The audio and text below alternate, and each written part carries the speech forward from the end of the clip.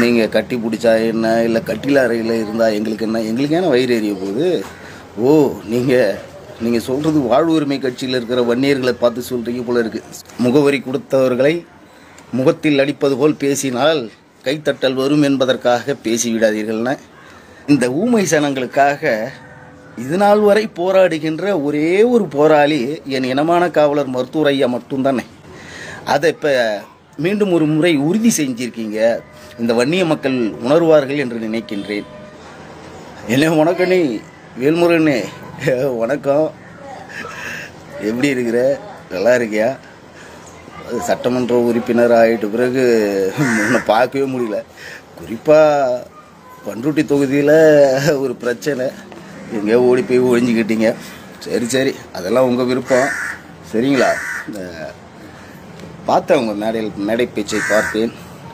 நீங்கள் கட்டி பிடிச்சா என்ன? இல்லை கட்டில அறையில் இருந்தால் எங்களுக்கு என்ன? எங்களுக்கு ஏன்னா வயிறு எறிய போகுது?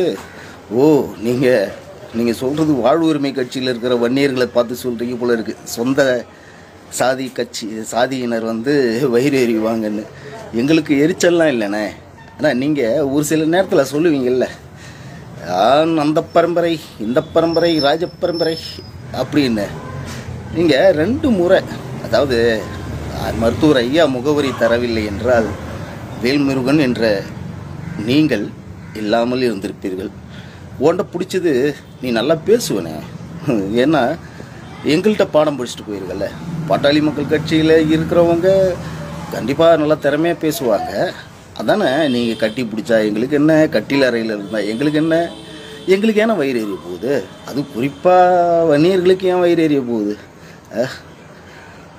ஒரு எம்பி ஒரு கூலி தொழிலாளி. சரி அவர் அந்த வன்னிய சாதின்றதே விட்டுறலாம். ஒரு கூலி தொழிலாளி அடித்து விஷம் கொடுத்து கொலை பண்ணிட்டு அங்கே அங்கே வந்து அந்த குடும்பமே வந்து ஐயோ அம்மான்னு கதறுது.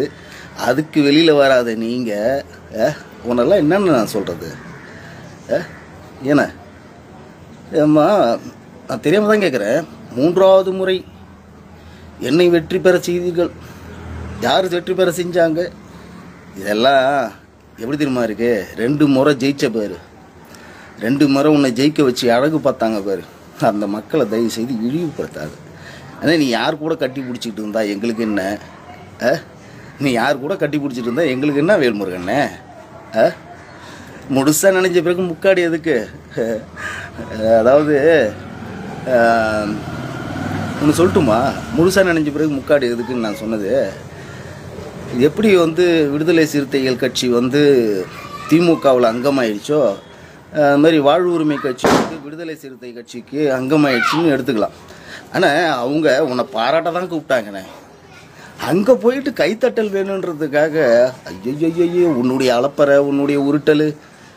பா முடியலண்ணே. சான்ஸே கிடையாதுண்ணே. ஆனால் கொஞ்சம் லைட்டாக இதாக இருக்குது போல இருக்குண்ணே உனக்கு.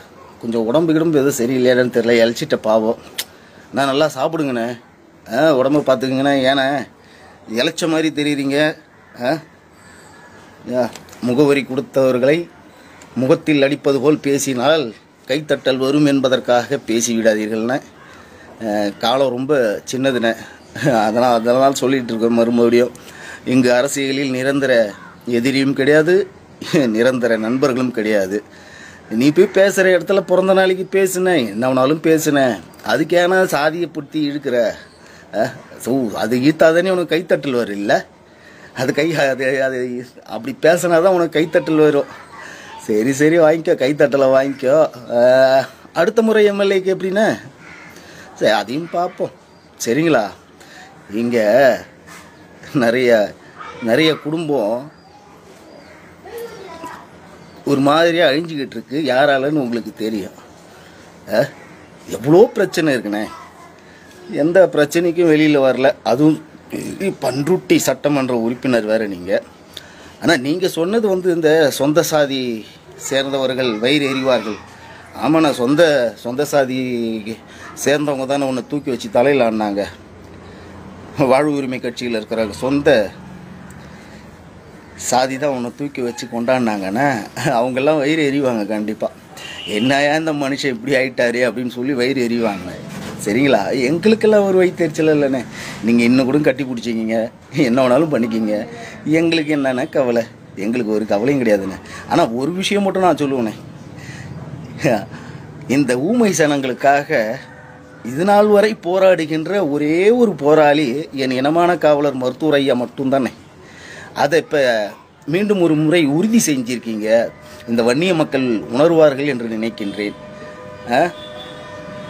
உண்மையாலுமே நீங்கள் இப்போ அந்த பேச்சின பேச்சில் எல்லா வன்னியர் மக்களுக்கும் தெரிஞ்சிருக்கும். பா வன்னியர்களுக்கு என்றால்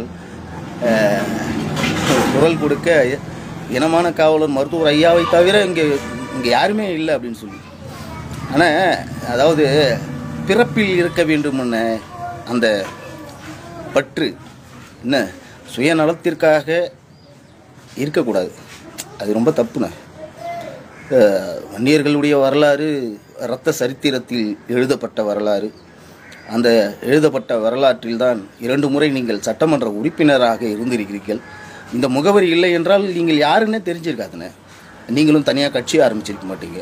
உங்கள் பின்னாடியும் அந்த கட்சியை உங்கள் கட்சியை வளர்க்குறதுக்கு என் இனமான சொந்தங்கள் வன்னியர்கள் பின்னாடி வந்திருக்க மாட்டாங்க.